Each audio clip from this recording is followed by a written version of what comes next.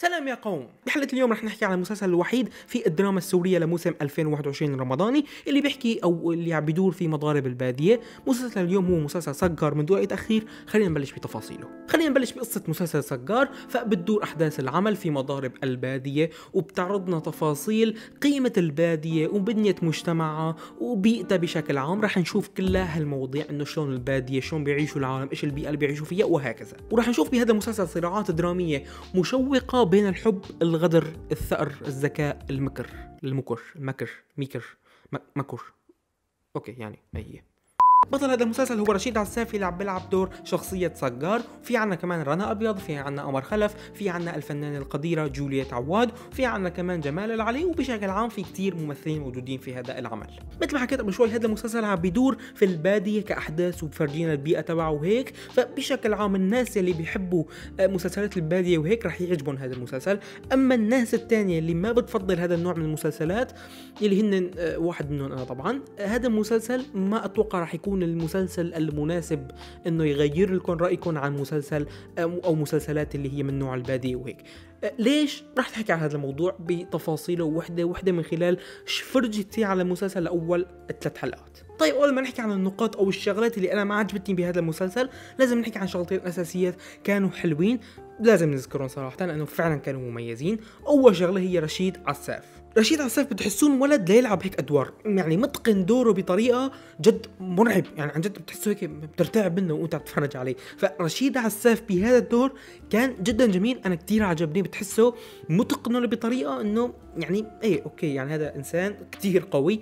فرشيد عساف عامل جو في المسلسل فعلا أخذ دوره بطريقة جدا حلوة مجسد الشخصية بطريقة جدا جميلة شخصية صقار بطريقة معينة إنه أنا رئيس القبيلة أنا شيخ القبيلة أنا بدي أصير أنا بدي أعمل أنا بدي أساوي وبشكل عام يعني رشيد عساف كان متقن الدور وهي نقطة كتير عجبتني في المسلسل. وفي عنا كمان الممثلة القديرة جولييت عواد كمان اخذت دورها معبية مركزة اخذته صح بطريقة معينة كان كمان دورها كتير حلو مثل ما حكيت معبية مركزة يعني. وعاملة combo كتير حلو مع رشيد عساف هن الاثنين هيك مع بعض. بتحس في توليفة حلوة بيناتهم عاطين جو كتير حلو لهذا المسلسل كمان حبيتهم مع بعض بهذا المسلسل. في نقطة كمان جدا عجبتني بهذا المسلسل هو موضوع الموسيقى. عن جد كانت متماشية مع القصة متماشية مع جو المسلسل بطريقة كتير حلوة رح تعيشك جو البادية وهيك بطريقة معينة الموسيقى كمان كانت كتير حلوة أنا حبيتها واستمتعت فيها. هلأ في كم نقطة ما رح أعتبرهم إيجابيات وما رح أعتبرهم سلبيات. هن شغلات كانوا موجودين في المسلسل كنت بتمنى إنه ينعملوا بطريقة أفضل من هيك لحتى أستمتع أكثر أنا في هذا المسلسل. أول وحدة هو موضوع التصوير. للأمانة ما كان فيه هيك مثلا مشاهد مستفزة مشاهد مثلا هيك شاذة للعين أو كذا لأ. بس إنه يعني أغلب المشاهد على سبيل المثال كانوا الكاميرا واقفة هيك ثابتة في أرضها ما عم تتحرك ابدا. يعني هي النقطة ما بعرف إنه ليش؟ طيب الكاميرا ليش ما عم تتحرك؟ يعني حركة اعمل لك شيء زاوية اعمل لك شيء حركة الكاميرا زوم إن زوم أوت شيء شغلة عامله بطلع هيك هذا المسلسل ما بيعمل لك أي شيء. يعني ما حقول إنه هي سلبية لأنه ما في شيء شاذ مثل ما حكينا بس ما هي إيجابية ابدا. هي شيء جدا عادي كان موجود في هذا المسلسل. في نقطة صراحة أنا عجبتني وبنفس الوقت هيك في شغلة تابعة لها ما كثير عجبتني. أول شغلة إنه جو البادية راح نعيشه بطريقة حلوة. الممثلين ذات نفسهم عم بيعرفوا يحكوا بطريقة البادية كمان بدخلوك في الجو. تلوين المشاهد كان بالنسبة لي سيء. أو خلينا نقول إنه أنا كنت متوقع صراحة من هذا المسلسل كباديه وهيك يدخلني في الجو تبعه من خلال تلوين المشاهد بطريقة أفضل من هيك.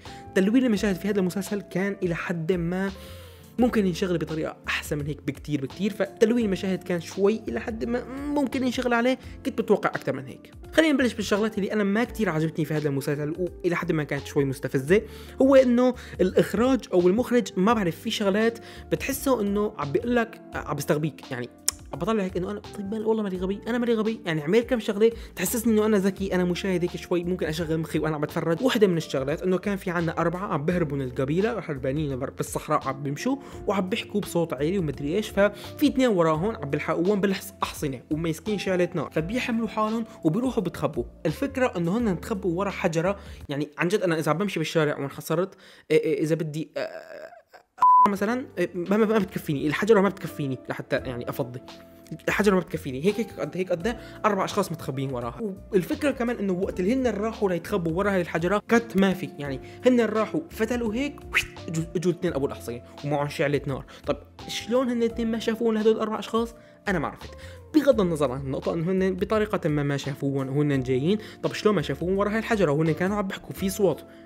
كمان ما عرفت شلون. يعني ما لهم متخبيين في مكان والله. مثلا ورا جبل كامل. طب لا يعني وحتى ما في زرع ما في كذا. شلون هن متخبيين؟ شلون هديك ما شافون؟ أنا ماني عارفين. هديك كمان برجع بعيد إنه معهم شعلة نار. فالمخرج هون يعني بهذه اللقطة بهذا المشهد في شغلتين أو ثلاثة غبيات أنا يعني طلعت هيك إنه أنا والله ماني غبي. طيب الإخراج في هذا المسلسل ابدا ابدا ابدا ما شدني. طيب بالملخص هل المسلسل سجار يستحق إنه الواحد يتفرج عليه؟ شوفوا أنا كإنسان ما كتير بحب نوع المسلسلات بالبادية وهيك وكذا.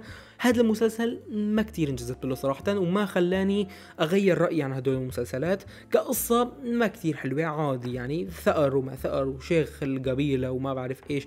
ما كتير الموضوع شدني للأمانة. زائد إنه في كتير أغلاط إخراجية كمان ما كتير. بس الأشخاص اللي بيفضلوا هذا النوع من المسلسلات اللي بيحبوا مسلسلات البادية بشكل عام أتوقع هذا المسلسل رح يعجبكم لأنه في عنا موسيقى بتدخلك للجو. في عنا تمثيليا جدا أقوياء. الممثلين بشكل عام عم بيعرفوا يحكوا بطريقة معينة. وأتوقع إنه اللي بحبوا مسلسلات البادية رح يعجبهم هذا المسلسل. بس أنا كشخص أو أنتم كأشخاص ما بتحبوا مسلسلات البادية ما بنصحكم صراحة انكم تتفرجوا على هذا المسلسل. أنا شفت صار منه حلقتين أو ثلاث حلقات صرت شايف منه ثلاث حلقات.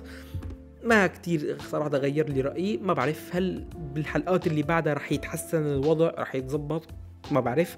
أه بتمنى انكم تكتبوا لي رايكم تحت في الكومنتات إذا أكمل المسلسل أو لا. أنا شخصيا ما أتوقع اني أكمله الا إذا جيتوا بقى وقلتوا لي المسلسل حلو ما بعرف إيش وكذا وحمستوني أتفرج عليه أكمله ممكن أكمله. بس بشكل عام حاليا يعني ما بعرف أعطيه فرصة ثانية ولا ما أعطيه. والله يمكن أعطيها يمكن أعطيه فرصة ثانية إني أتفرج على الحلقة الرابعة والخامسة. إذا تحسن الوضع بكمل ما تحسن خلص ده وقف بشكل نهائي بقى. فهي كانت حلقة اليوم. إذا عجبتكم لايك واشتراك لا تنسوا الموضوع رح يتعمل جدا كثيرا. هذا رح يطلع لكم فيديو هون تحت فيديو هون بشوفكم بالفيديو. سلام.